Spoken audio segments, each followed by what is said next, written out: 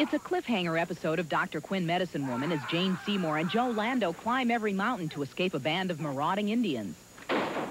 Suddenly we are on a precipice and there's Indians behind us, there's Indians everywhere, and there's nothing we can do except jump. Too far. This is a, a, show that involves a lot of action. I like to do as much as I possibly can that's within reason. I, I think jumping off the 150-foot cliff isn't within reason. I love you. I love you.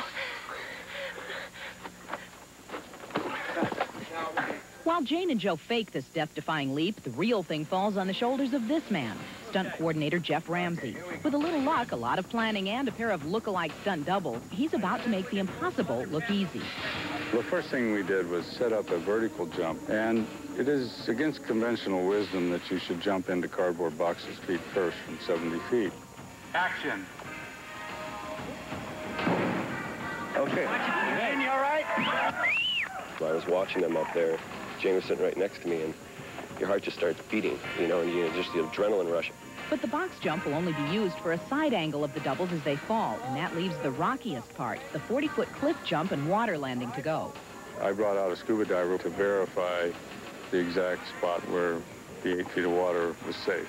This is the deep pool. That's right. Uh, this is where you want to go for. There's a lot of boulders underneath there, and the water's very shallow in certain spots. You don't want to be short in here.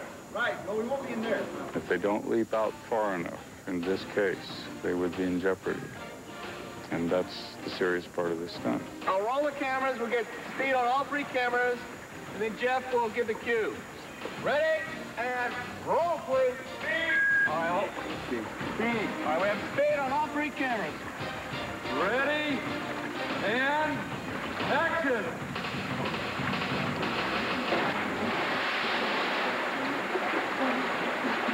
Miraculously, miraculously, we land in eight foot of water and surface um, only to only to continue for the next episode. That's a cut. You may have missed it in the middle of the action, but just before they leaped, Dr. Quinn and Sully pledged their love for the very first time. The leap off the cliff happened Saturday on CBS. The leap into love is being saved for the season-ending episode.